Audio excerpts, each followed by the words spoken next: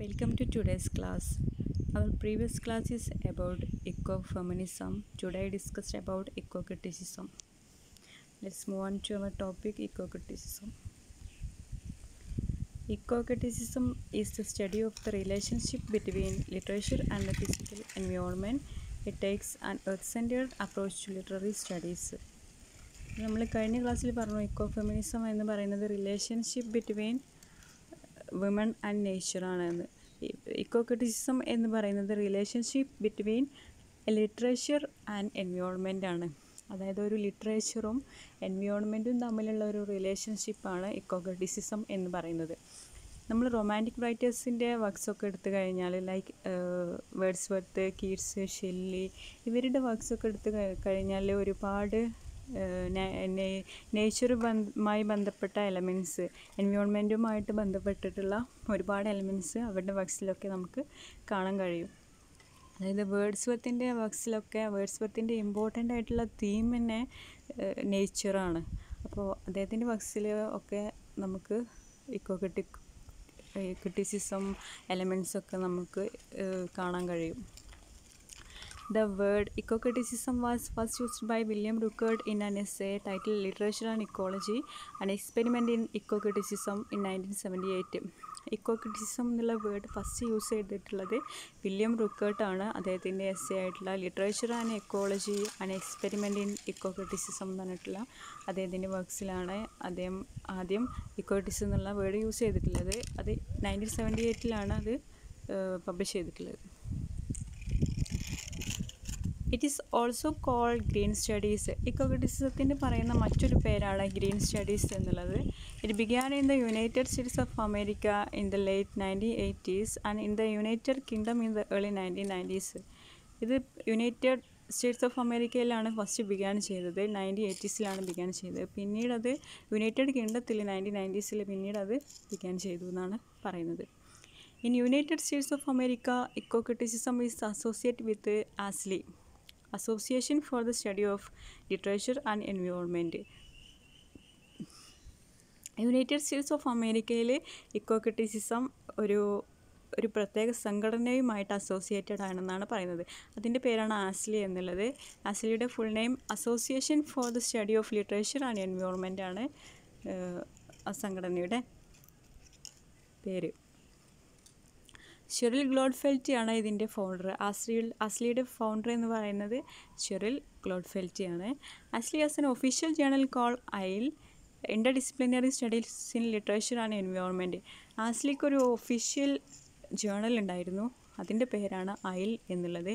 അതിന് ഒരു അതിന്റെ ഫുൾ നെയിം എന്ന് പറഞ്ഞാൽ interdisciplinary interdisciplinary studies in literature and environment ആണ് ഐലിന്റെ full name In 19th century, American writers like Ralph Waldo Emerson in his work Nature, Margaret Fuller in her work Summer on the Lake, Henry David Thoreau in his work Walden, whose work celebrates nature, eh, life force and the wilderness.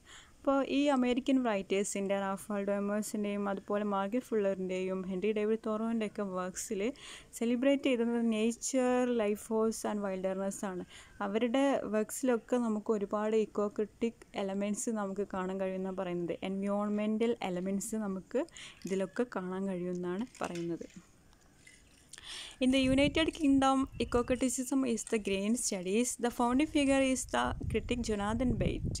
അതായത് United കിങ്ഡത്തിലേക്കൊക്കെ ക്രിറ്റിസിസത്തിനെ നമ്മൾ green studies എന്നാണ് വിളിക്കുന്നത്. അതിന്റെ founder ക്രിട്ടിക്കായിട്ടുള്ള Jonathan ആണ്. The term eco criticism used by America whereas the term green studies used by united kingdom eco criticism എന്നുള്ളത് അമേരിക്കക്കാരാണ് ഈ ടേം യൂസ് ചെയ്യുന്നത്. യുണൈറ്റഡ് കിങ്ഡം യൂസ് ചെയ്യുന്ന ഇക്കോ ക്രിറ്റിസത്തിന് പകരം യൂസ് ചെയ്യുന്ന ഒരു വേർഡാണ് ഗ്രീൻ സ്റ്റഡീസ് എന്നുള്ളത്. Okay Thomas Gray's elegy ബ്രിട്ടണിനെ country churchyard William Wordsworth the prelude James Thomson's the seasons these works portrays portrays the elements of eco criticism. Thomas Gray's elegy വിട്ടണിനെ കണ്ടു churchyard എനിക്ക് തോന്നുന്നു നിങ്ങൾ ഫസ്റ്റ് സെമ്മിലൊക്കെ പഠിച്ചിട്ടുണ്ടാകും. അദ്ദേഹത്തിന്റെ വർക്ക്സിൽ നമുക്ക് ഒരുപാട് ഇക്കോക്രിറ്റിക് എലമെന്റ്സ് കാണാൻ കഴിയുന്ന പറയുന്നത്. അതായത് ആ വർക്ക്സും ആ വർക്ക് ആ ഒരു പോയവും അതുപോലെ എൻവയോൺമെന്റും തമ്മിൽ നല്ലൊരു റിലേഷൻ ഉണ്ട് എന്നാണ് പറയുന്നത്. Thomas Gray begins with a description of a quiet evening in an English countryside the curfew bell rings the cattle return home the peasant also walks homewards after a hard day's toil in the field soon it will be dark the silence is broken by the droning of cricket the tingling of bells for the distance fold and the occasional hooting of an out അതായത് അദ്ദേഹം ഈ poem begin ചെയ്യുന്നത് തന്നെ ഒരു country സൈഡിലാണ് ഒരു country സൈഡിലെ ഒരു ഈവനിങ് ഇംഗ്ലണ്ടിലെ ഒരു വില്ലേജിലെ ഈവനിങ് വളരെ ബ്യൂട്ടിഫുള്ളായിട്ട് ഡിസ്ക്രൈബ് ചെയ്യുന്നുണ്ട്. ആ ഈവനിങ്ങിൽ ക്യാറ്റിൽസൊക്കെ അവരുടെ മേയ്ക്കലൊക്കെ കഴിഞ്ഞിട്ട് വീട്ടിലേക്ക് തിരിച്ചു വരുന്നതും അതുപോലെ കർഷകരൊക്കെ അവരുടെ വർക്കൊക്കെ കഴിഞ്ഞിട്ട് തിരിച്ചു വരുന്നതും വളരെ ബ്യൂട്ടിഫുൾ ആയിട്ട് ഡിസ്ക്രൈബ് ചെയ്ത് കൊണ്ടാണ് ഈ ഒരു പോയം ബിഗിൻ ചെയ്യുന്നത്. അപ്പോൾ അദ്ദേഹത്തിന്റെ ഈ ഒരു പോയത്തിൽ നമുക്ക് ഒരുപാട് എൻവയോൺമെന്റൽ എലമെന്റ്സ് നമുക്ക് കാണാൻ കഴിയും. അതുകൊണ്ട് തന്നെ ഈ ഒരു എലജി വിട്ടണിനെ കണ്ടു ചർച്ചയാട് ഒരു ഇക്കോ ക്രിറ്റിസിസം വർക്കാണെന്ന് നമുക്ക് പറയാൻ പറ്റും. അതുപോലെ William Wordsworth prelude James Thomson's the seasons ഈ വർക്ക്സുകളിലൊക്കെ നമുക്ക് ഒരുപാട് നേച്ചർ എലമെന്റ്സ് നമുക്ക് കാണാൻ കഴിയും. ഈ വർക്ക്സുകളൊക്കെ ഇക്കോ ക്രിട്ടിക്കൽ വർക്ക്സ് ആണ് നമുക്ക് പറയാൻ പറ്റും. Then I talk about eco critics as questions like അതായത് നമ്മളൊരു ലിറ്റററി വർക്ക് എടുത്തു കഴിഞ്ഞാൽ അത് അതിൽ എത്രത്തോളം ഇക്കോ ക്രിട്ടിക്കൽ എലമെന്റ്സ് ഉണ്ട് എന്നുള്ളത് നമുക്കറിയണമെന്നുണ്ടെങ്കിൽ അതായത് ഒരു ഇക്കോ ക്രിട്ടിക് ചോദിക്കുന്ന ക്വസ്റ്റ്യൻസിന് നമുക്ക് ആൻസർ ചെയ്ത് കഴിഞ്ഞാൽ ആ ഒരു വർക്കിൽ എത്രത്തോളം എൻവിയോൺമെന്റൽ എലമെന്റ്സ് ഇൻക്ലൂഡഡ് ആണ് എന്നുള്ളത് നമുക്ക് മനസ്സിലാക്കാൻ കഴിയുമെന്നാണ് പറയുന്നത്. How is nature represented in this text അതായത് നമ്മളൊരു ലിറ്റററി വർക്ക് എടുത്തു കഴിഞ്ഞാൽ ഇപ്പോൾ തോമസ് ഗ്രേയുടെ എലജി ബ്രിട്ടണിനെ കണ്ടു ചർച്ചയായിട്ട് എടുത്തു കഴിഞ്ഞാൽ അതിൽ എത്രത്തോളം നേച്ചർ റെപ്രസെന്റഡ് ആണ് എന്നുള്ളത് നമുക്ക് മനസ്സിലാവും.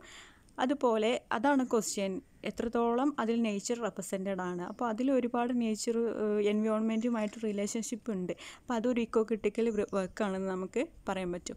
How do we see issues of എൻവയോൺമെന്റൽ disaster and crisis reflected in popular culture and literary works അതുപോലെ ലിറ്റററി വർക്ക്സിൽ എത്രത്തോളം എൻവയോൺമെന്റൽ ഡിസാസ്റ്ററും എൻവയോൺമെന്റൽ ഇഷ്യൂസും ഒക്കെ എത്രത്തോളം പ്രതിപാദിക്കുന്നുണ്ട് എന്നുള്ളത് ഒരു ക്വസ്റ്റ്യനാണ് ആ ക്വസ്റ്റ്യന് ആൻസർ നമുക്ക് കണ്ടെത്താൻ കഴിഞ്ഞാൽ ആ ലിറ്ററി വർക്ക് ഒരു ക്രിട്ടിക്കൽ വർക്കാണ് നമുക്ക് പറയാൻ കഴിയും. അതായത് ഈ എൻവയോൺമെന്റൽ ഡിസാസ്റ്ററും എൻവയോൺമെന്റൽ ക്രൈസിസും ഒക്കെ എത്രത്തോളം ആ വർക്ക്സിൽ ഇൻക്ലൂഡഡ് ആണ് എന്നുള്ളത് നമുക്ക് മനസ്സിലാക്കാൻ കഴിയും.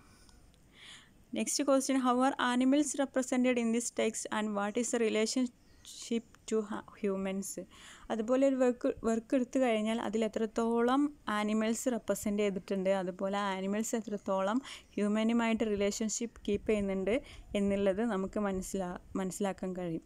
അപ്പോൾ അങ്ങനെയുള്ള എലമെന്റ്സ് ഒക്കെ അതിലുണ്ടെങ്കിൽ അതൊരു ഇക്കോ ക്രിട്ടിക്കൽ വർക്കാണെന്നാണ് പറയുന്നത്. Then I talk about Indian English examples for eco critical text ഇതുവരെ ഞാൻ പറഞ്ഞിട്ടുള്ളത് റൊമാന്റിക് റൈറ്റേഴ്സിന്റെ വർക്ക്സിലൊക്കെ നമുക്ക് ഒരുപാട് ഇക്കോ ക്രിട്ടിക്കൽ എലമെന്റ്സ് കാണാൻ കഴിയുമെന്ന് പറഞ്ഞു. അതുപോലെ അമേരിക്കൻ റൈറ്റേഴ്സിന്റെ ഇതിൽ വർക്ക്സിലൊക്കെ നമുക്ക് എൻവിയോൺമെന്റൽ എലമെന്റ്സ് ഒക്കെ കാണാൻ കഴിയും. Then I talk about Indian English examples for eco critical text അതായത് ഇന്ത്യൻ ഇംഗ്ലീഷ് ലിറ്ററേച്ചറിൽ എത്രത്തോളം ഇക്കോ ക്രിട്ടിക്കൽ എലമെന്റ്സ് ഇൻക്ലൂഡഡ് ആണ് എന്നുള്ളതാണ് അടുത്തത്. Arundhati Roy's god of small things Arundhati റോയുടെ God of small things എന്നുള്ള നോവൽസിൽ നോവലിൽ ഒരുപാട് എൻവയോൺമെന്റൽ എലമെന്റ്സ് ഇൻക്ലൂഡഡ് ആണെന്നാണ് പറയുന്നത്. ഈ ഒരു നോവലിന്റെ സെറ്റിങ് തന്നെ നമ്മളെ കേരള ഡിസ്ട്രിക്റ്റിൽ കോട്ടയം കേരള സ്റ്റേറ്റിൽ സോറി കേരള സ്റ്റേറ്റിൽ കോട്ടയം എന്ന് പറഞ്ഞിട്ടുള്ള ഡിസ്ട്രിക്റ്റിലാണ് ഈ നോവലിന്റെ സെറ്റിങ് ആ ഒരു അവിടുത്തെ കേരളത്തിലെ ആ ഒരു എൻവിയോൺമെന്റ് ഒക്കെ ഒരു നല്ല ബ്യൂട്ടിഫുള്ളി ഡിസ്ക്രൈബ് ചെയ്തിട്ടുണ്ട് അരുന്ധതി റോ റോയുടെ ഈ ഒരു നോവലിൽ അതുപോലെ അരുന്ധതി റോയ് ഈ ഒരു നോവലിൽ ഒരു റിവറിനെ കുറിച്ച് മെൻഷൻ ചെയ്യുന്നുണ്ട്. അതിൽ ഒരുപാട് പൊല്യൂഷനൊക്കെ ഉണ്ട് എന്നുള്ളതിനെ കുറിച്ചിട്ടൊക്കെ മെൻഷൻ ചെയ്യുന്നുണ്ട്. അപ്പോൾ ഇതൊരു ഇക്കോ ക്രിട്ടിക്കൽ വർക്കാണെന്നുള്ളത് നമുക്ക് മനസ്സിലാക്കാൻ കഴിയും. Amitav another eco critic Indian English eco critical work is Amitav Ghosh the hungry tide വേറൊരു ഇക്കോ ക്രിട്ടിക്കൽ വർക്കാണ് അമിത ഘോഷിന്റെ ഹംഗ്രി ടൈഡ് എന്നുള്ളത്. Then I conclude my today's class. Thank you.